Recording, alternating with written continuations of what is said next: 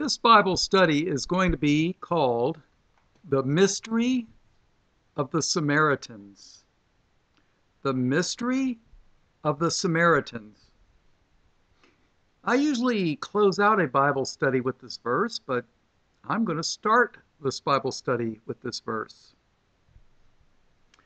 Let's go to John chapter 8 and verse 12. Then spake Jesus again unto them, saying, I am the light of the world. He that followeth me shall not walk in darkness, but shall have the light of life. Now the Pharisees are a denomination of the Jews. Verse 13. The Pharisees therefore said unto him, the Pharisees, these Pharisee Jews are speaking to Jesus. The Pharisees therefore said unto him, Thou bearest record of thyself, thy record is not true. Jesus answered and said unto them, Though I bear record of myself, yet my record is true. For I know whence I came and whither I go. But ye cannot tell whence I come and whither I go. Ye judge after the flesh. I judge no man. And yet, if I judge, my judgment is true, for I am not alone, but I and the Father that sent me. It is written in your law that the testimony of two men is true. I am one that bear witness of myself, and the Father that sent me beareth witness of me. Then said they unto him, Where is thy Father? Jesus answered, Ye neither know me nor my Father. If ye had known me, sh ye should have known my Father also. These words spake Jesus in the treasury, as he taught in the temple, and no man laid hands on him, for his hour was not yet come. Then said Jesus again unto them, I go my way, and ye shall seek me and shall die in your sins. Wow, that's some pretty harsh word. I go my way, and ye shall seek me, and shall die in your sins. Whither I go, ye cannot come. And oh, by the way, I'm reading from the King James Bible. And if you read in the Jewish books, the commentaries, the Jewish commentaries, they consider this the most anti Semitic chapter in the entire Bible. But what can I tell you? This is the words of Christ as recorded in the King James Bible. All right, let's go to verse 22. Then said the Jews, Will he kill himself? Because he saith, Whither I go, ye cannot come. And he said unto them, Words of Christ in red, Ye are from beneath, I am from above. Ye are of this world, I am not of this world. I said therefore unto you that ye shall die in your sins. For if ye believe not that I am he, ye shall die in your sins. So if anybody tells you that Jews Jews get saved without Jesus, well, they're calling Jesus here a liar. Verse 25. Then said they unto him, Who art thou? And Jesus saith unto them, Even the same that I said unto you from the beginning. I have many things to say. I have many things to say, and to judge of you. But he that sent me is true, and I speak to the world those things which I have heard of him. They understood not that he spake to them of the Father. Then said Jesus unto them, When ye have lifted up the Son of Man, then shall ye know that I am he and that I do nothing of myself. But as my Father hath taught me, I speak these things. And he that sent me is with me. The Father hath not left me alone, for I do always those things that please him. As he spake these words, many believed on him. So, you know, there is some Jews that believed on Jesus. Then said Jesus to those Jews which believed on him, If ye continue in my word, then are ye my disciples indeed, and ye shall know the truth, and the truth shall make you free. They answered him, uh, of course, these are the unbelieving Jews. They answered him, We be Abraham's seed, and were never in bondage to any man. How sayest thou, Ye shall be made free? Well, that's funny. I thought Israel was in bondage in Egypt. And they say they were never in bondage to any man. Hmm. Who are these people? Don't they know their don't they know the history? Verse 34. Jesus answered them, Verily, verily, I say unto you, whosoever committeth, committeth sin is the servant of sin. And the servant abideth, abideth not in the house forever, but the Son abideth ever. If the Son therefore shall make you free, ye shall be free indeed. I know that ye are Abraham's seed, but ye seek to kill me, because my word hath no place in you. I speak that which I have seen with my father, and ye do that which ye have seen with your father. Oh, Jesus is getting pretty nasty to these people, huh? Verse 39 They answered and said unto him, Abraham is our father. Jesus saith unto them, If ye were Abraham's children, ye would do the works of Abraham. But now ye seek to kill me, a man that hath told you the truth, which I have heard of God. This did not Abraham. Ye do the deeds of your father. Then said they then said they to him, We be not born of fornication. We have one Father, even God. Jesus said unto them, If God were your Father, ye would love me. For I proceeded forth and come from God. Neither came I of myself, but he sent me. Why do ye not understand my speech? even because ye cannot hear my word. Listen carefully. Words of Christ in red, King James Bible, Jesus speaking to these unbelieving Jews. Ye are of your father, the devil. Ye are of your father, the devil, and the lusts of your father ye will do. He was a murderer from the beginning.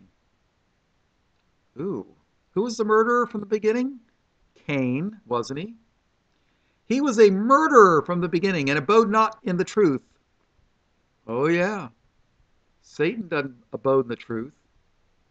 He was a murderer from the beginning and abode not in the truth, because there is no truth in him. When he speaketh a lie, he speaketh of his own, for he is a liar and the father of it, and the father of it. And because I tell you the truth, ye believe me not. Which of you convinceth me of sin? And if I say the truth, why do you not believe me? He that is of God heareth God's words. Ye therefore hear them not, because ye are not of God. That is some pretty harsh words. Jesus said they were of their father the devil, the unbelieving Jews. Verse 48 Then answered the Jews and said unto him, Say we well that thou art a Samaritan and hast a devil? Huh.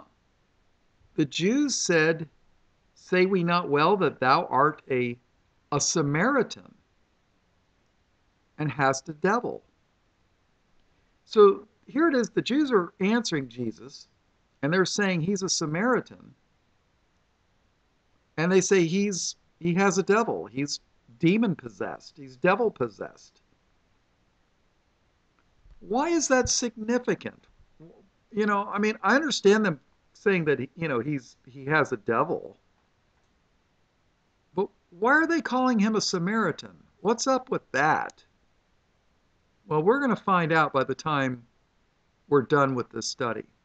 Verse 49 Jesus answered, I have not a devil, but I honor my Father, and ye do dishonor me. And I seek not mine own glory. There is one that seeketh and judgeth. Verily, verily, I say unto you, if a man keep my sayings, he shall never see death. Then said the Jews unto him, Now we know that thou art a that thou hast a devil. Now we know that thou hast a devil. Abraham is dead, and the prophets, and thou sayest, If a man keep my saying, he shall never taste of death. Art thou greater than our father Abraham, which is dead, and the prophets are dead? Who makest thou thy, thyself? Jesus answered, If I honor myself, my honor is nothing. It is my Father that honoreth me, of whom ye say that he is your God. But ye have not known him but I know him. And if I should say I know him not, I shall be a liar like unto you. But I know him and keep his saying. Your father Abraham rejoiced to see my day, and he saw it and was glad. Then said the Jews unto him, Thou art not yet fifty years old, and hast thou seen Abraham? Jesus said unto them, Verily, verily, I say unto you, before Abraham was, I am. Before Abraham was, I am. Why is that significant? I am. Then took they up stones to cast at him, but Jesus hid himself and went out of the temple, going through the midst of them, and so passed by. I'd like to know how Jesus did that stuff. I really would. I mean, when you, the midst means he went through the middle of them. He went through the middle of them, but he hid himself and went out of the temple. I mean, you know, they're getting ready to kill us, kill Jesus, and I, I can't figure it out. But but why is what he's saying I am? Why is that why is that significant? Let's see. All right, well, let's go to Exodus chapter 3. I guess we'll start in verse 1. We're going to skip around real quick. I don't want to make this a big study of I am. Uh, Exodus chapter 3, verse 1. Now Moses kept the flock of Jethro, his father in law, the priest of Midian, and he led the flock to the backside of the desert and came to the mountain of God, even to Horeb. And the angel of the Lord appeared unto him in a flame of fire out of the midst of a bush. And he looked, and behold, the bush burned with fire, and the bush was not consumed the burning bush. you hopefully, hopefully you people have heard this story before. If you haven't, you need to read the Old Testament. Uh, so, so all right. So um, when you keep reading, you know the bushes. Uh, let's see. All right. Uh, verse three. We'll just go ahead and read it. And Moses said, I will now turn aside and see this great sight, why the bush is not burnt. And when the Lord saw that he turned aside to see, God called unto him out of the midst of the bush and said, Moses, Moses. And he said, Here am I. And he said, Draw not nigh hither, put off thy shoes from off thy feet, for the place whereon thou standest is holy ground. Moreover, he said, I am the God of thy father, the God of Abraham, the God of Isaac, and the God of Jacob. And Moses hid his face, for he was afraid to look upon God. You know, here's an interesting thing. In verse 2, it says, And the angel of the Lord appeared unto him in a flame of fire. And yet, we just read that he said, you know, it sounds like it's the angel of the Lord that's saying, Moreover, he said, I am the God of thy father, the God of Abraham, the God of Isaac, and the God of Jacob. And Moses hid his face, for he was afraid to look upon God. A lot of Bible scholars will tell you that they believe that this particular angel of the Lord is Christ in his pre human form upon the earth. You know, basically the word angel means messenger, but sadly, some people get suckered into the um, Jehovah's Witness watchtower lies, and they'll try to make you think, oh, this is Michael the Archangel, and, uh, you know, don't believe that junk. Verse 7 And the Lord said, I have surely seen the affliction of my people which are in Egypt, and have heard their cry by reason of their taskmasters, for I know their sorrows, and I am come down to deliver them out of the hand of the Egyptians, and to bring them out of the land unto a good land and a large unto a land flowing with milk and honey, unto the place of the Canaanites, and the Hittites, and the Amorites, and the Perizzites, and the Hivites, and the Jebusites. Now therefore, behold, the cry of the children of Israel is come unto me, and I have also seen the oppression wherewith the Egyptians oppress them. Now come therefore, and I will send thee unto Pharaoh, that thou mayest bring forth my children, my people, the children of Israel, out of Egypt. All right. And Moses said unto God, Who am I that I should go unto Pharaoh, and that I should bring forth the children of Israel out of Egypt? And he said, Certainly I will be with thee, and this shall be a token unto thee that I have sent thee. When thou hast brought forth the people out of Egypt, ye shall serve God upon this mountain. I did a study on the mountains.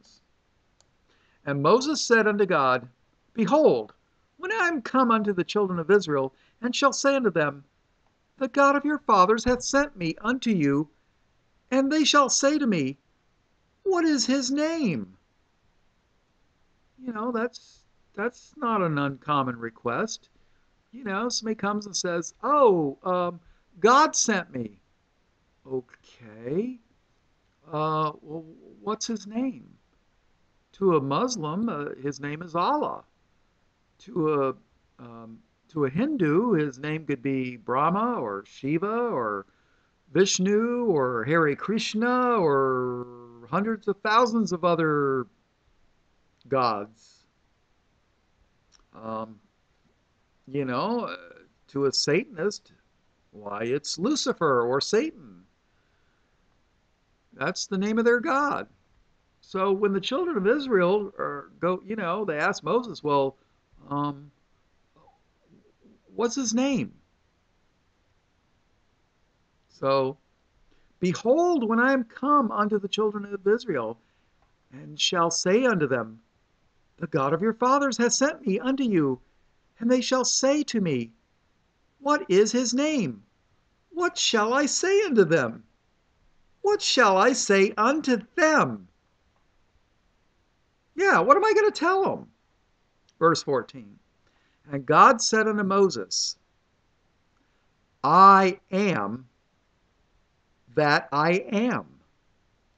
And he said, Thus shall thou say unto the children of Israel, I am hath sent me unto you. I am hath sent me unto you. Now, don't think for a minute that the Jews do not understand when Jesus said, I am, that he is directly telling them a reference to this very thing. Okay? I mean, let's face it. Uh, in John, in John 8, verse 58, Jesus said unto them, He's speaking to the Jews, Verily, verily, I say unto you, before Abraham was, I am. Now, he's telling them, I am. That's some heavy duty stuff there, people. All right, here's an interesting verse Mark chapter 14 and verse 60. Mark 14, 60.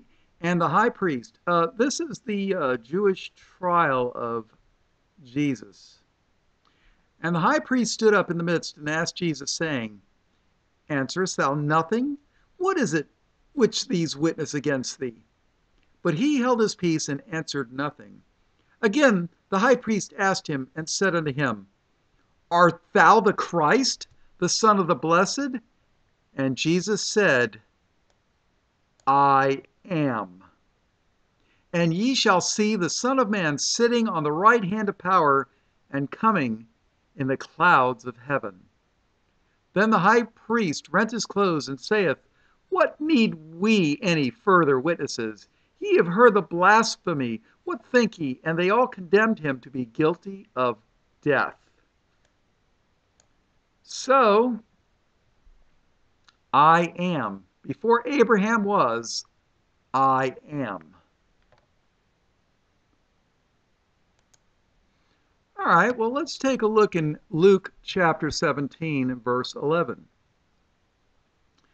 And it came to pass as he, Jesus, as he went to Jerusalem, that he passed through the midst of Samaria and Galilee. Now, a Samaritan is a resident of Samaria. Makes sense, right? I mean, a Texan is a resident of Texas. And a New Yorker is a resident of New York. And a Floridian is a resident of Florida. And a Samaritan is a resident of Samaria. So Jesus went through the midst or the middle of Samaria and Galilee. And as he entered into a certain village, there met him ten men that were lepers. They had leprosy. Leprosy is a horrible disease. It turns your skin uh, like paper white and it rots your skin off. People that have leprosy, their fingers and their toes just basically fall off their body. I mean, it's a horrible disease. And uh, if you had leprosy, they uh, quarantined you, they kicked you out of the, the camp. But what you would do is if you believed that you were cured, you would go to the priest. The priest would examine your body thoroughly and pronounce that you were clean, and then I'll let you back into the, uh, the camp or the city. All right. And as he entered into a certain village, there met him ten men that were lepers, which stood afar off. You know, they're in quarantine. They don't, you know, they're not allowed to be with everybody. And they lifted up their voices and said, Jesus, Master, have mercy on us. Jesus, Master, have mercy on us. And when he saw them, he said unto them, Go, show yourselves unto the priests. And it came to pass that, as they went, they were cleansed. So here it is, they're healed from their leprosy, right? Verse 15 And one of them, when he saw that he was healed, turned back and with a loud voice glorified God and fell down on his face at his feet, giving him thanks. And he was a Samaritan. So here it is you got a Samaritan. Well, remember the Jews accused Jesus of being a Samaritan and, and having a devil? Right? Oh, you're a Samaritan and, and you're demon possessed. But here it is a Samaritan had leprosy. Jesus had healed him. He comes down, falls down on his face at Jesus' feet, giving him thanks. And he's a Samaritan. Verse 17. And Jesus answering said, Were there not ten cleansed? But where are the nine? Isn't that funny? There were ten of them, and only one of them returned to give thanks to Jesus.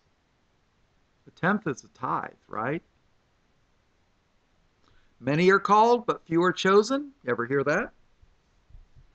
And Jesus answering said, Were there not ten cleansed? But where are the nine?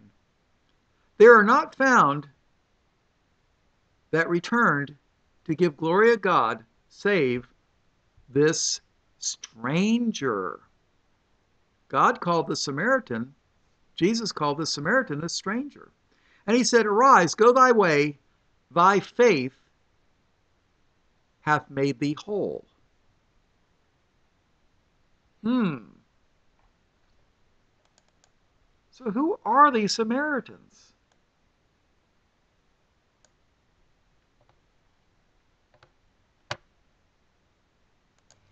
All right, turn to Luke chapter 10 and verse 25.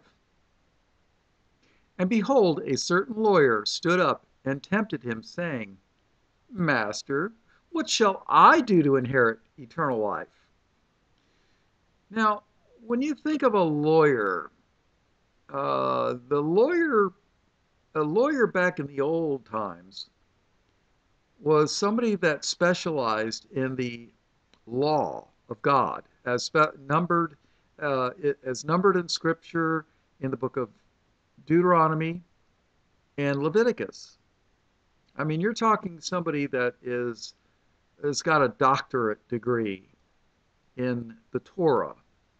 This is somebody that knows Bible law.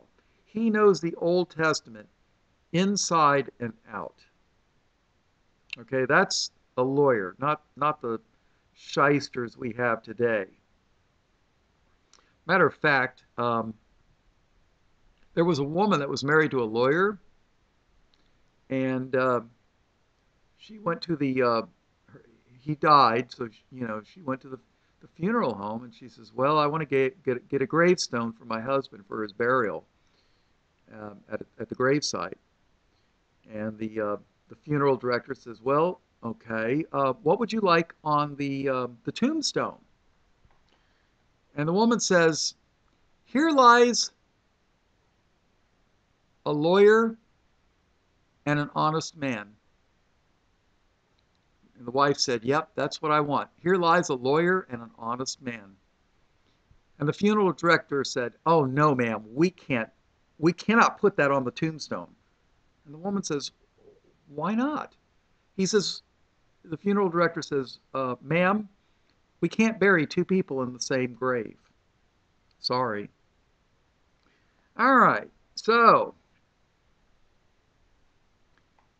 And behold, a certain lawyer stood up and tempted him, saying, Master, what shall I do to inherit eternal life?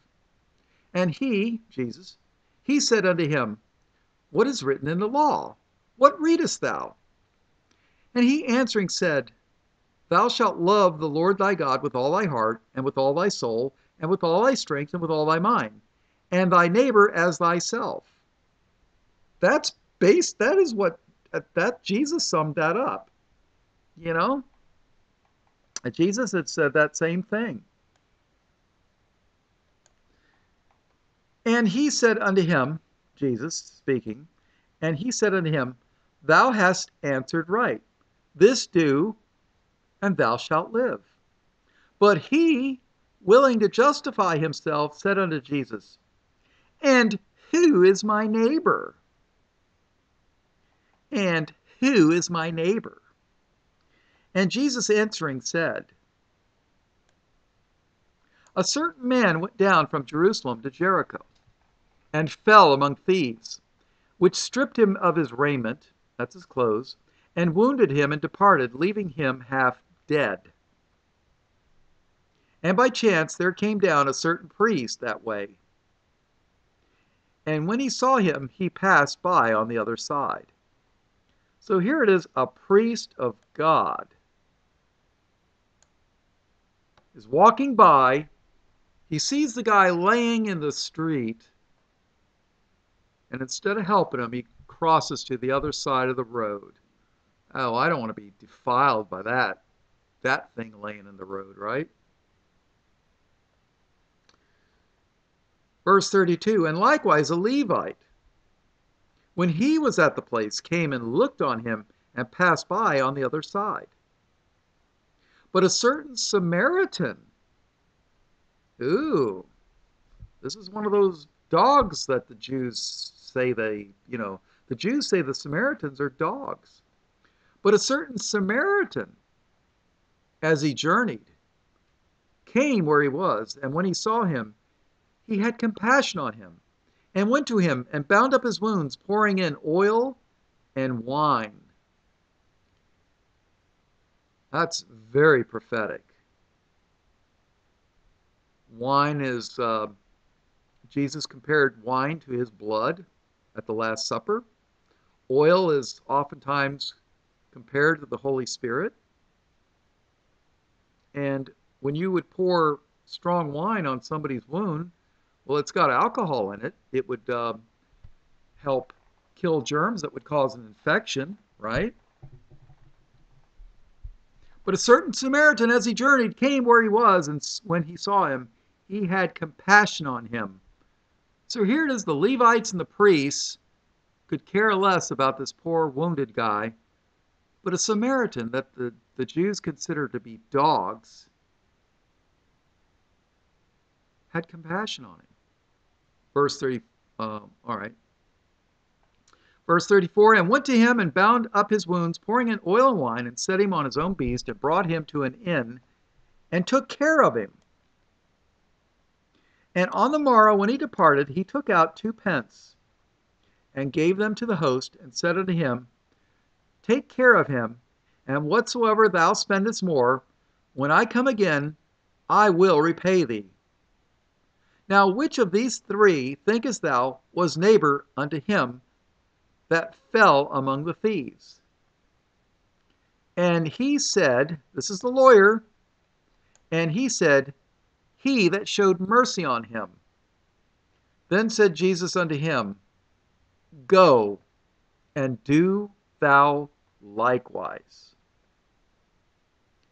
So, who are these Samaritans?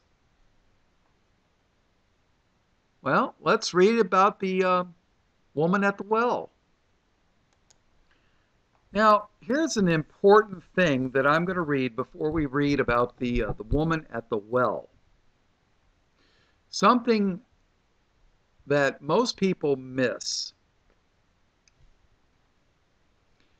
In Matthew 1 and verse 2, Abraham begat Isaac, and Isaac begat Jacob, and Jacob begat Judas and his brethren. And then in Acts 7 and verse 8, and he gave them the covenant of circumcision. And so Abraham begat Isaac and circumcised him the eighth day. And Isaac begat Jacob, and Jacob begat the twelve patriarchs. Jacob had his name changed by God himself to Israel. And the 12 patriarchs were the 12 tribes of Israel. Okay? So let's take a look at the Abrahamic covenant confirmed in Isaac and confirmed in Jacob, who became Isaac. And this is imperative to understand the woman at the well, believe it or not. So let's take a look. I know a lot of times I cover the same material, but I try to put a little different twist on it. And sometimes you need to hear something two, three, four times before it finally sinks in. But if you ask me, if you want to really understand the Bible, you have to have a good working knowledge of the book of Genesis. After all, it's the beginning. Genesis chapter 17 and verse 1. And when Abram was 90 years old and nine, so here it is, Abram's 99 years old.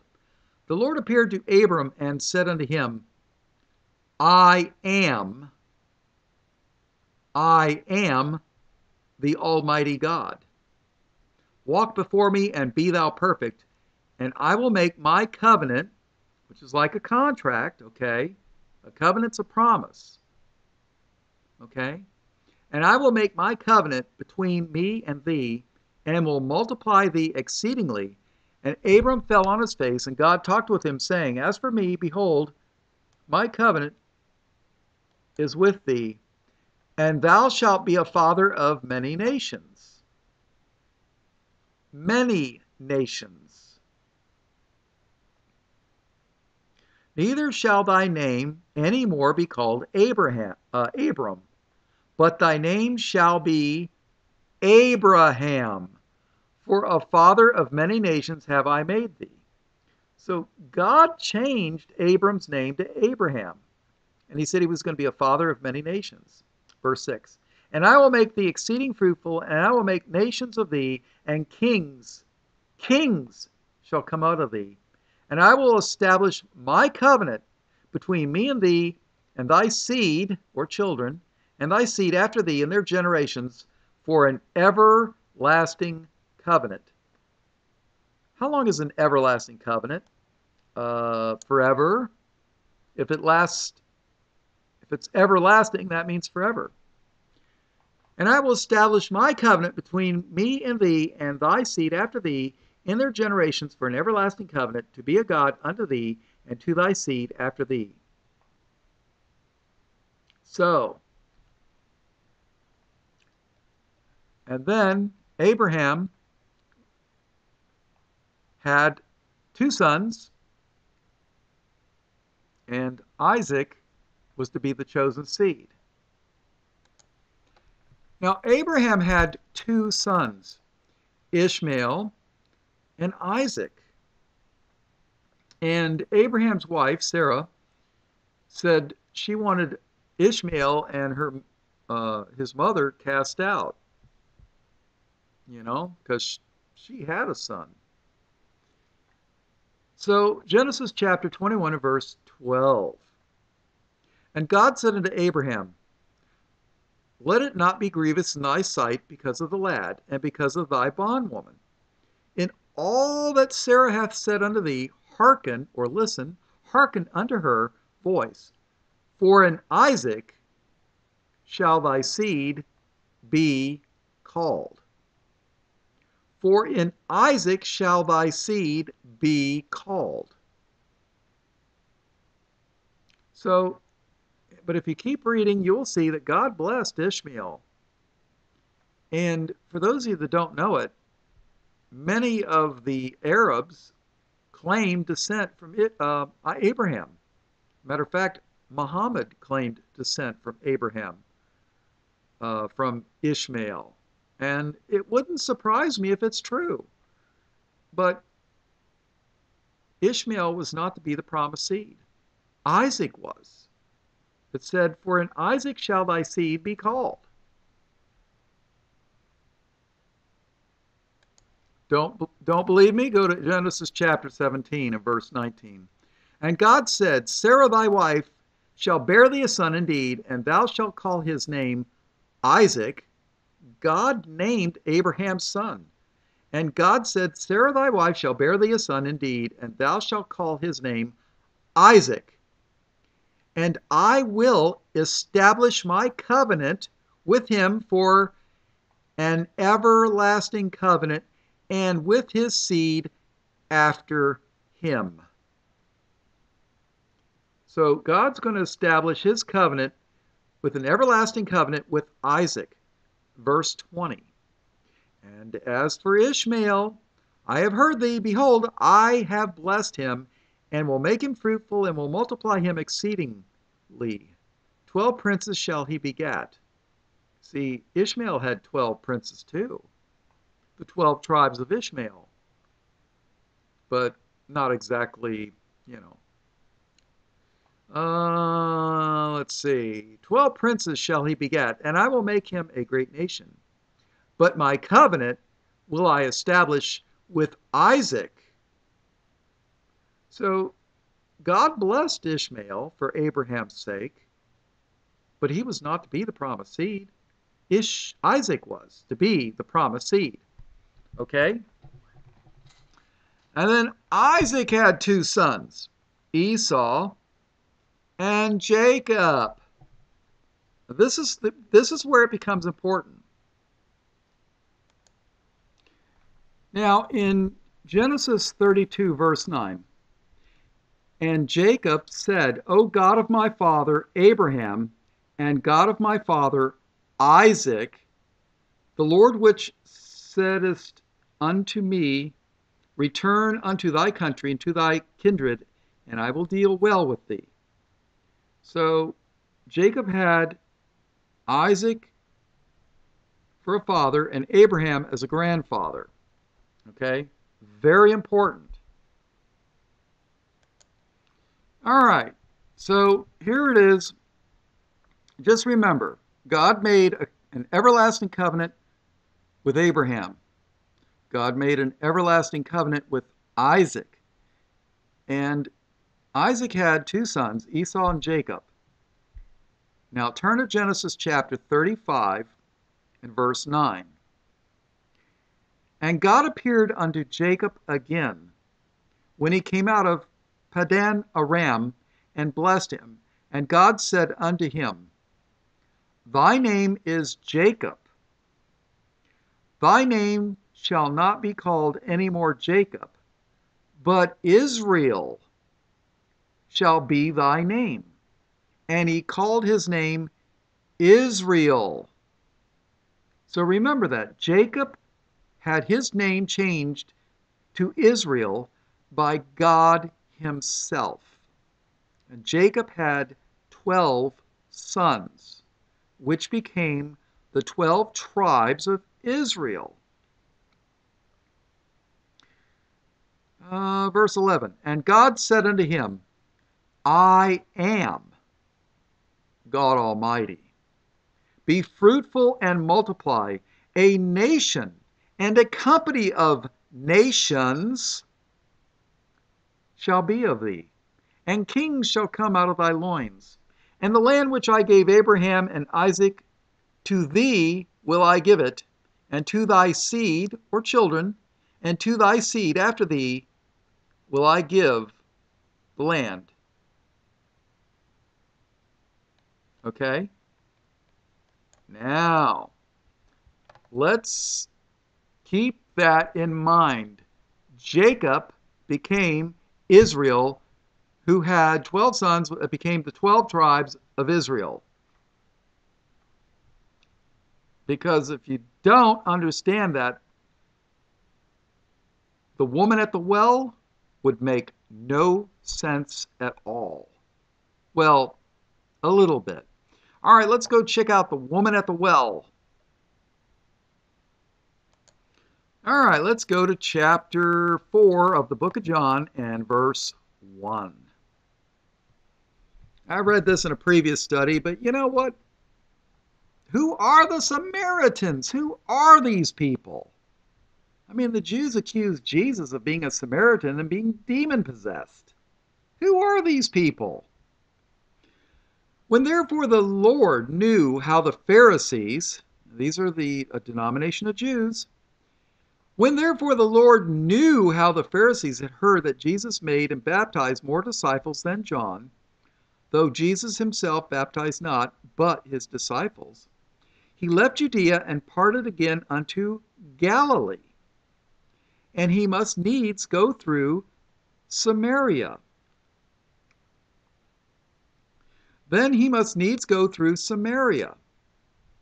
Then cometh he to a city of Samaria, which is called Sychar, near to the parcel of land that Jacob gave to his son Joseph. Ah, so Samaria is in the land of Israel. Ah, it's near the parcel of ground that Jacob gave to his son Joseph. You remember Joseph? The story of Joseph in Egypt uh, with under Pharaoh? In, in, you know, yeah. Joseph was one of the 12 tribes of Israel. So, so you got to realize Samaria, Sychar is near to the parcel of ground that Jacob gave to his son Joseph. Now, Jacob's well was there. Evidently, jo- Jacob had had a well dug, or he dug it himself, maybe, I don't know. But it was Jacob's well. Now, Jacob's well was there. Jesus, therefore, being wearied with his journey, sat thus on the well.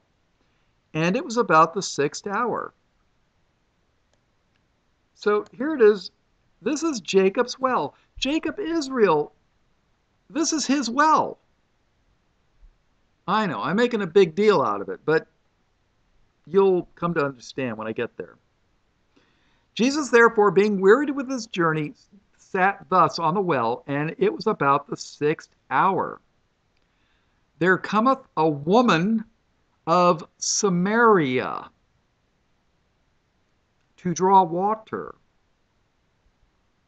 All right, so here it is one of those Samaritan dogs, a woman. Well, that's what the Jews called them. Then there cometh a woman of Samaria to draw water. Jesus saith unto her, Give me to drink. For his disciples were gone away unto the city to buy meat. Then saith the woman of Samaria unto him. All right, so here it is. This woman of Samaria is coming to the well of Jacob, who was Israel, to draw water. Jesus is sitting there and he asks her, Give me to drink. Okay? Verse 9 Then saith the woman of Samaria unto him, How is it that thou, being a Jew, askest drink of me, which am a woman of Samaria? For the Jews have no dealings with the Samaritans. You know, how is it that you, being a Jew, ask anything of me, a Samaritan? You know, you Jews think that we're Samaritans, we're a bunch of dogs. You know, why are you asking me? You know, the Jews don't have any, they don't, they don't even talk to us. They don't like us. They don't have any dealings with us. They stay away from us. You know, how is it that thou, being a Jew, askest drink of me, which am a woman of Samaria? For the Jews have no dealings with the Samaritans. Jesus answered and said unto her, if thou knewest the gift of God, and who it is that saith to thee, Give me to drink, thou wouldst have asked of him, and he would have given thee living water. Do you know that this woman is considered a Gentile? And Jesus, of course, he's the, the high priest, he's the King of kings, Lord of lords. He's a lion of the tribe of Judah, which slang is Jew. I mean, this is this woman in a way is a shadow, a representation of the Gentile bride of Christ. Think about it. You know, the Jews didn't have any dealings with these people. If thou knewest the gift of God, and who it is that saith to thee, Give me to drink, thou would have asked of him, and he would have given thee living water. The woman saith unto him, Sir, thou hast nothing to draw with, and the well is deep. From whence then hast thou that living water? Listen carefully. Art thou greater than our father Jacob? What? This woman, this Gentile Samaritan woman, just asked Jesus, Art thou greater than our father Jacob? Jacob was the father of the 12 tribes of Israel and the Samaritan Gentile woman just called Jacob her father. Did you catch that? Art thou greater than our father Jacob, which gave us the well and drank, drank thereof himself, and his children and his cattle? What did Jesus say? Oh, no, Samaritan woman. You're not of Jacob. You're not of Israel. Uh uh-uh. uh. No way. You're a Gentile woman. Did he say that? No. Verse 13 Jesus answered and said unto her, Whosoever drinketh of this water shall thirst again. But whosoever drinketh of the water that I shall give him shall never thirst. But the water that I shall give him shall be in him a well of water springing up into everlasting life. You see, this Samaritan woman, this Gentile, she said, Our father Jacob. She was an Israelite. Think about it. There's no other explanation. Jesus didn't correct her and say, Oh, no, you're not an Israelite. You're not of Jacob. And here it is. He's offering her living water of eternal life. Isn't that wild? Whosoever drinketh of this water shall thirst again. But whosoever drinketh of the water that I shall give him shall never thirst. But the water that I shall give him shall be in him a well of water springing up into everlasting life. The woman saith unto him, Sir, give me this water, that I thirst not, neither come hither to draw. Jesus saith unto her, Go, call thy husband, and come hither. The woman answered and said, I have no husband. Jesus said unto her, Thou hast well said, I have no husband.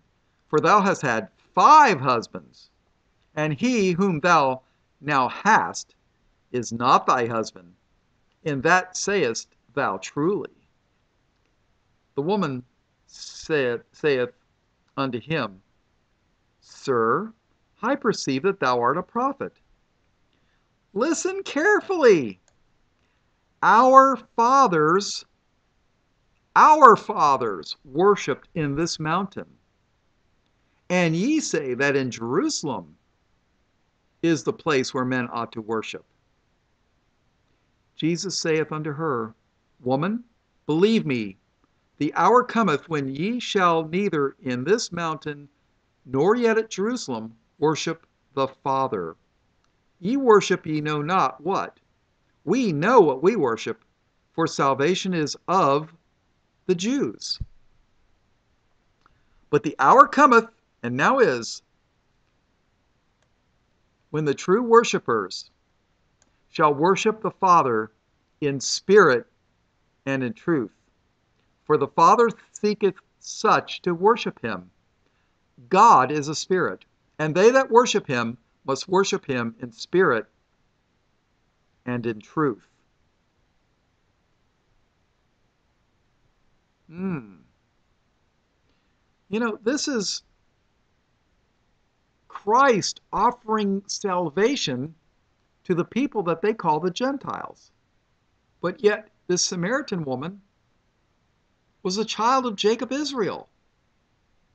But yet, she's not a Jew. The churches hide this stuff from people. Is it important? I think it is. If you want to really understand the Bible, if you just want to, you know, John 3:16, believe on the Lord Jesus Christ and thou shalt be saved. You know, uh, I'm sorry, for God so loved the world that he gave his only begotten Son, that whosoever believeth on him should not perish but have everlasting life. If you John 3:16, if you know, that's enough for salvation. But if you really want to understand what the Bible, the meanings and the deep things, hmm, Verse 24 God is a spirit, and they that worship him must worship him in spirit and in truth. Words of Christ in red. Verse 25 The woman saith unto him, I know that Messiah cometh, which is called Christ. When he is come, he will tell us. When he is come, he will tell us all things. Jesus, Jesus saith unto her, I that speak unto thee am he. Huh. Jesus is telling this Samaritan Gentile woman who is of the tribe of, you know, she's she's an Israelite for sure. Jacob is her father. And yet he tells her, I am the Messiah. I am the Christ. The woman saith unto him, I know that Messiah cometh, which is called Christ. When he is come, he will tell us all things. Jesus saith unto her, I that speak unto thee am he. Wow. And then guess what? She goes into town and proclaims the truth of the gospel to them. Verse 27 And upon this came his disciples and marveled that he talked with a woman. Yet no man said, What seekest thou? Or why talkest thou with her? Why are you talking to that dog? The woman, verse 28 The woman then left her water pot, went her way into the city, and saith to the men, Come, see a man which told me all things that ever I did. Is not this the Christ? Then they went out of the city and came unto him. So, you know, this is the thing. This woman is a daughter of Jacob Israel. All right, let's keep reading. Verse 31. In the meanwhile, his disciples prayed him, saying, Master, eat. But he said unto them, I have meat to eat that ye know not of. Therefore said the disciples one to another, Hath any man brought him aught to eat? They never get it, do they? Jesus saith unto them, My meat is to do the will of him that sent me, and to finish his work. Say not ye, say not ye, there are yet four months, and then cometh harvest? Behold, I say unto you, lift up your eyes and look on the fields, for they are white already to harvest. He's talking about the harvesting of souls, people. And he that reapeth receiveth wages and gathereth fruit unto life eternal, that both he that soweth and he that reapeth may rejoice together. And herein is that saying true One soweth and another reapeth. I sent you to reap that whereon ye bestowed no labor. Other men labored, and ye are entered into their labors. You see, other people sowed the seed, and yet the disciples reaped the harvest. But they're both laborers, they both working for the same master, I guess you could say.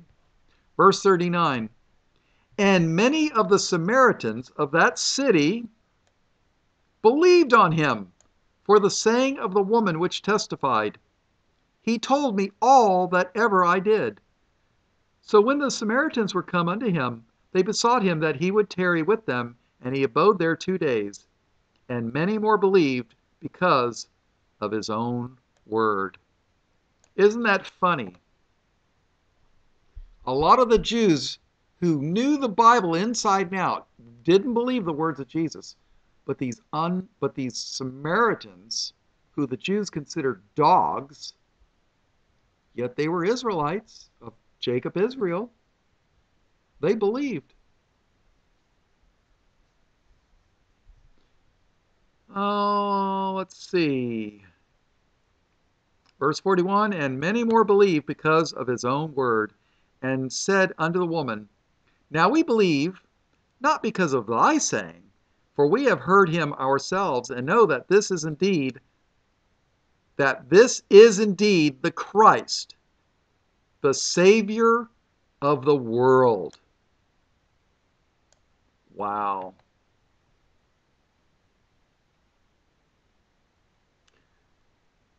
Now, after two days, he departed thence and went into Galilee. Now, that's where Jesus left, right? He was called Jesus of Galilee. Verse 44 For Jesus himself testified that a prophet that a prophet hath no honor in his own country. But when he was coming into Galilee, the Galilees, Galileans received him, having seen all the things that he did at Jerusalem at the feast, for they also went unto the feast. So, wow. So evidently, this woman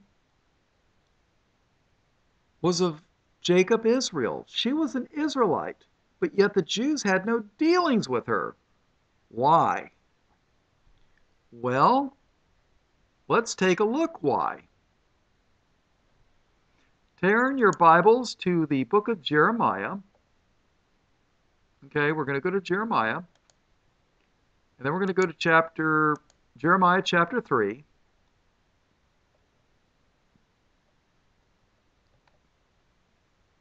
And let's go to verse 6. Jeremiah chapter 3 and verse 6. The Lord said also unto me in the days of Josiah the king. Josiah was a good, God fearing king. He was one of the last good kings. I'm not sure if he was the last good king, but he was a good king. God loved Josiah, and Josiah loved the Lord. And let me tell you something Josiah got rid of the Sodomites, and he got rid of the witches, and God blessed him. Think about that.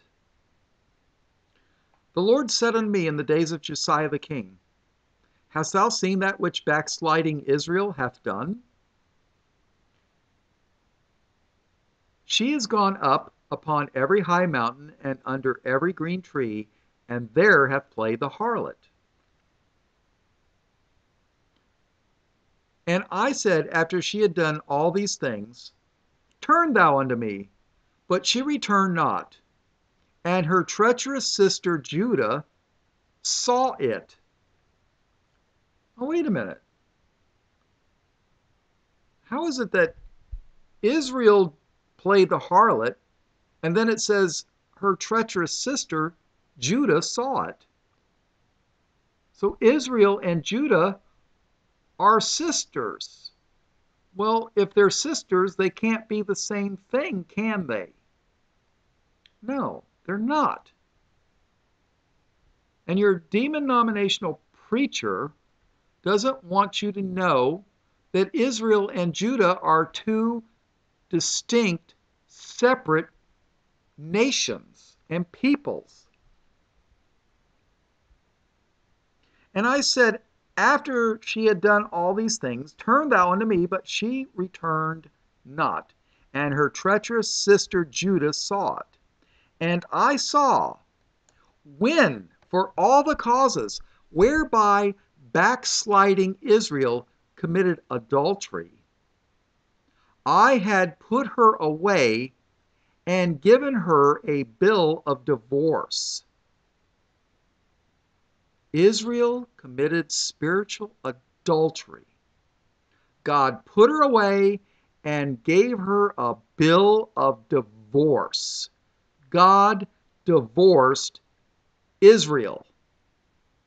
But didn't God say he gave Abraham, Isaac, and Jacob an everlasting covenant? Yeah, he did.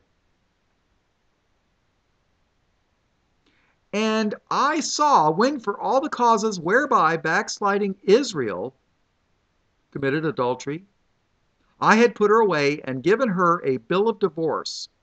Yet her treacherous sister Judah feared not, but went and played the harlot also.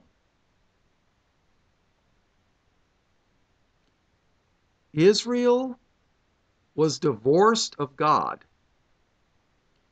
Yet Judah was not. But Judah played the harlot also. Well, guess what? Israel and Judah split. They separated from each other. The capital of Judah was called Jerusalem. Do you know what the Israel was called? Samaria. Israel was called Samaria. The Samaritans, maybe not all of them, I mean, you know, because people move, okay? You get people from New York and they move to Florida. Are they New Yorkers or are they Floridians? I mean, you know, they grew up in New York and then they retire in Florida. Are they New Yorkers or are they Floridians? Or are they both? I don't know. The Samaritans were some many of the Samaritans were Israelites.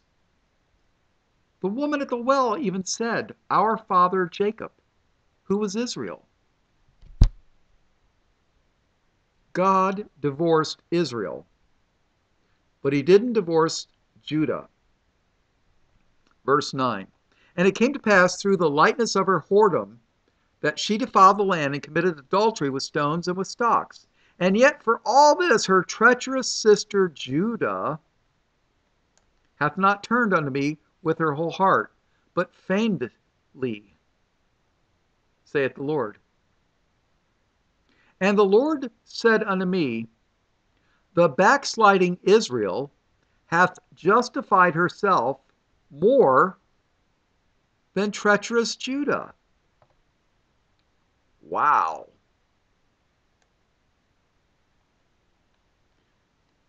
Now, you know, you could keep reading this chapter. Matter of fact, let's skip down a little bit. Let's skip to verse uh, Jeremiah 3 and verse 17. At that time they shall call Jerusalem the throne of God, and all the nations, what nations? The nations of Israel, right? And all the nations shall be gathered unto it, to the name of the Lord, to Jerusalem. Neither shall they walk any more after the imagination of their evil heart. In those days, the house of Judah shall walk with the house of Israel. They're not the same. In those days, the house of Judah shall walk with the house of Israel, and they shall come together out of the land of the north to the land I have given for an inheritance unto your fathers. Huh.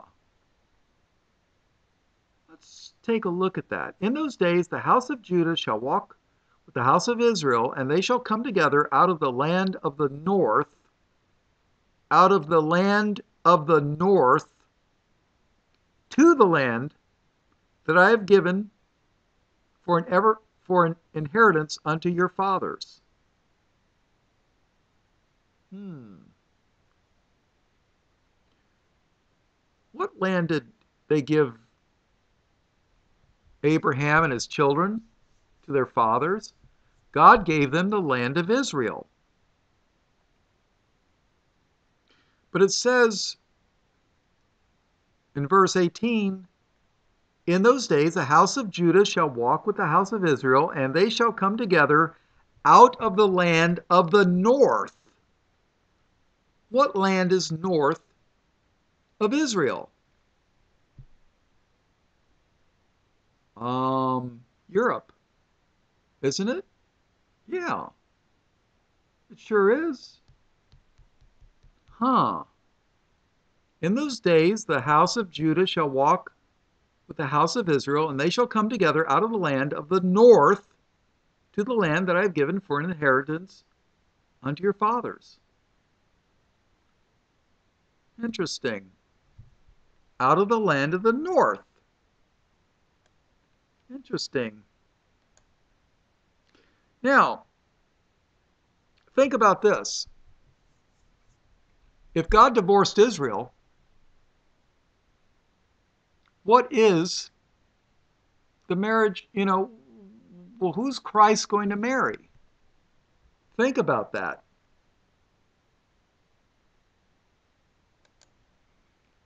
uh, let's now now wait a minute. God divorced Israel, right? God divorced Israel, but not Judah. So let's go to Revelation chapter 21.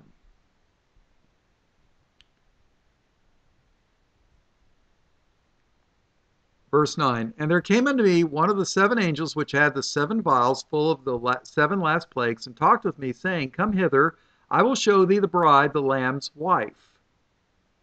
Okay. I will show thee the bride, the Lamb's wife. And he carried me away in the Spirit to a great and high mountain, and showed me that great city, the holy Jerusalem, descending out of heaven from God having the glory of God, and her light was like uh, unto a stone most precious, even like a jasper stone, clear as crystal, and had a wall great and high, and had twelve gates, and at the gates twelve angels, and names written thereon, which are the names of the twelve tribes of the children of Israel. Now, wait a minute. God divorced Israel. Didn't he? Yes, he did. In Jeremiah 3 8, God divorced Israel. But here it says in verse 9, Revelation 21 9, Come hither, I will show thee the bride, the Lamb's wife. And then on verse 4, uh, let's see, verse 12, and had a wall great and high, and had 12 gates, 12 gates, 12 gates, and at the gates 12 angels, and names written thereon, which are the names of the 12 tribes of the children of Israel. Hmm. On the east, three gates, on the north, three gates, on the south, three gates, and on the west, three gates. And the wall of the city had 12 foundations and in them the names of the twelve apostles of the Lambs, the twelve apostles of the Lamb. And I'll guarantee you it's not Judas Iscariot. Huh. So there were 12 gates. Wow. And the bride is who? Israel. Well, you know what? I'm going to make this a part one or an introduction. If you're interested in more, what I will do is I'm going to go back into history where Israel and Judah were one kingdom. What were the events that led up to the split? And how and how and why God divorced Israel, northern Israel. You see, Israel was north of Judah, and yet it said that Israel was out of the land of the north.